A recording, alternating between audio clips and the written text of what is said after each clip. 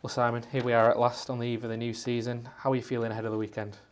Looking forward to it. You know, we want to get going now. I think um, watching all the uh, football league start two weeks ago, the Premier League, and then obviously we're we're the last ones to get going. We just um, we're excited, we're energised by it, and we're we're looking forward to the challenge ahead. We had seven games over the course of pre-season against quite a wide range of different opposition from lower league teams to academy teams, a Burnley side full of international players. Uh, what have you been able to take from that? Do you feel ready going into the new season? Yeah, I think, um, as I mentioned in a few of my interviews, you're, you're looking to build them fitness levels. Um, you're looking to, you know, install some principles that are going to be really, really important for you and the team and the lads over the course of the season and just get everyone, you know, physically ready. That's the priority. Um, and we've done that. So the games have offered a different type of test. Um, but I think relative tests to the division that, that we play in, you know, some games will be robust and will be a set piece threat. You know, I think of the Guiseley game, some physicality and height in that. Uh, and some teams, of course, will will be quite expansive in how they try and win games, which is, you know, would lend itself to, to some of the opposition, perhaps the Brighton game, the Burnley game you know, in particular. So uh, yeah, I think we've had an eclectic mix of games. We've um, we've uh, we've enjoyed we've enjoyed our work. We've enjoyed what we've done. But yeah, we're absolutely ready to get going now. It's something we spoke about quite a few times last season, but you came into the club during such a busy period. It's a game every couple of days. Uh, how important has it been for you to have your own pre-season with the players this summer? Do you feel like you've been able to put your own stamp on things now? Yeah, I think so. It felt like a game every couple of hours sometimes. uh, but yeah, look, I think um, I don't make too much uh, about pre-season because it's certainly not a case of you know we've done a lot of good work. And the one thing about the uh, the volume of games that we had you know was was that the benefit to that was you know although I wasn't getting to put my work into the players perhaps as much on the training pitch um, I was certainly getting to put my scheme of work into the players within the games. Um, so so there is an upside to that. And again we've not um, a, a lot of the things in my, my 28 games last season you know we want to hold on to this year you know, the players delivered on really, really well. And, um, you know, the, the, the 18 game unbeaten run, of course, um, but a lot of the quality of play within that and the resolute, you know, structure that we had. So, you know, I don't think we need to rip up what we were doing. Of course, like every other manager in the division, you'll be looking to improve on what, what work you had last year. But, um, you know, there was an awful lot of good, an awful lot of good, and, and certainly we want to hold on that and, and build on that. I think for a number of different reasons last season, we did end the season with quite a, quite a large squad of players. That's now been streamlined over the summer. Are you happy with the size of your squad now? Um, I think we can we can still look to you know add in one or two areas perhaps, but I'm certainly happy with what I've got in the building at the moment, and I'm I'm full of confidence in the players and trusting what we have going into the the first game. So I think we'll be. Um, we'll be one of a few clubs that, of course, are always looking to grow and get get better in any which way we can. But most importantly is, you know, you've got to show faith for the players that are in the building as well and, you know, make sure that you're doing your job by them, standing by them, giving them the best chance of performing to the best possible level that they can. Um, and, and that's never, never my, not my priority. Um, so yeah, look, happy with, happy with the squad, happy with the work we've done over the summer. But, um, you know, like as is normal, we'll always be, you know, have half an eye on ways in which we can push ourselves as far, far as we can. You've also got a new member on your coaching team as well, someone you know quite well from your time at Brighton, Mark Beard. How pleased are you to have him on board? Yeah, really good to have Mark in. Um, you know, great playing background. You know, pedigree. Play. You know, played at a good level. You know, he's um, he understands the divisions. He understands the differences, um, and, and he's also got a really, really strong back.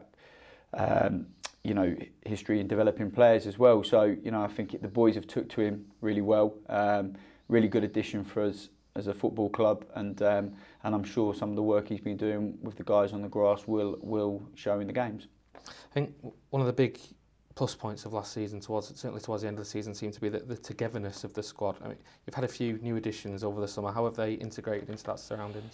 Brilliantly. Um, you're, you're right to point out that I think we had a real togetherness last year. And again, um, you know, every, every every quality team needs that. And if you're going to achieve things, you have to you have to have that about you. So. Um, Uh, and sometimes that has to be worked out and sometimes it doesn't have to be worked out And I think uh, the luxury for me as a manager is I've got a great dressing room. You know, some really good characters who care. They really care about what we're doing. You know, they they want to they want to be the best version of themselves, and part of that is being respectful as a group to each other.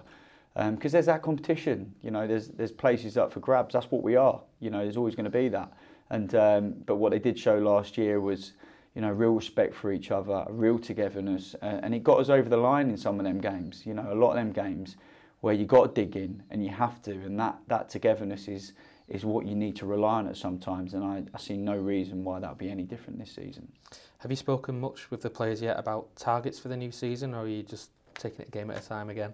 Yeah, we of course, you know, we we don't stick our head in the sands about what we want to achieve and what we want to do.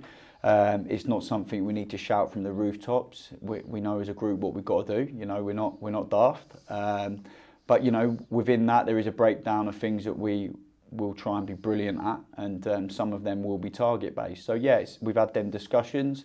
Um, we're very much on the same page, and we know what we've got to do. And some of that is is around obvious targets, but obviously some some uh, some targets which you know we, we would always keep in house and keep to ourselves as a group about what we want to be brilliant at. When you look back to the Hartlepool game last season, I think in your post certainly in your post match interview we could all see how much that hurt you personally. But in a way, does that help motivate you this season to go a step further? Possibly, but um, you know, the you're, you're right. That was a really painful day, um, not just for me, for everyone. Everyone connected with the club, um, and, and you know, I'm in the privileged position that you know I'm I'm someone that gets the opportunity to to lift the players, reset where we were once we had a bit of a rest over the summer, and that's a privilege. It's as a manager or a head coach at a club like like this, um, you know, it's a privilege to it's a privilege to to show people how much you're genuinely hurting, but it's also a privilege to you know shake yourself down and, and lift the players and go again. And um, and yeah, we are. I think it would be crazy for me to say that that, that day isn't going to be you know one part of of my motivation personally. Of course it is. Um, but you also have to shake yourself down and move on from it. And um, it's a fresh season, it's a new start. And um, yeah, we will be using that as one of our motivating factors. But, you know, we've also got to use the past healthily, but also, you know, prioritise the future. And, and that's what we're doing. Just looking ahead to this weekend's opponents, Dagenham obviously finished last season really strongly, won seven of the last ten games. Obviously came to Edgeley Park and got a draw. Uh, they've kept the majority of the squad together mm. as well over the summer, not too many additions. Are you expecting them to be more of a threat at the top end of the table this season? Yeah, good team. I think they uh, they probably underachieved in the first half of last season. I think that's um, that's not a disrespectful thing to say. Um, so the the fixture we had them at um, Edgeley last year was a really tricky one. It was a difficult one, Um, and I'm expecting the same again. You know, we uh, we're under no illusions, and I think it's like most games we have. They they all pose a real, you know, stern test. So I think. Um, you know, I wouldn't want to speak on on where I think they should or shouldn't be this year, but what I do know is we've got a tough game on our hands. Just finally, Simon. No, finally on Saturday, no restrictions at Edgeley Park. Big crowd attend, uh, attending. Do you have a message for the fans ahead of the new season?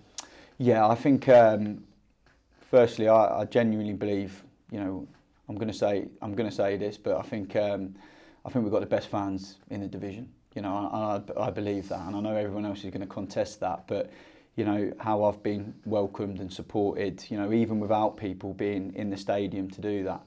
Um, and you know, we're desperate. We're desperate as a group to to give the fans something to absolutely get behind, and we're going to need them. You know, we're going to need them. It's as, as they'll know as well as me, you know, that the season comes with ups and downs.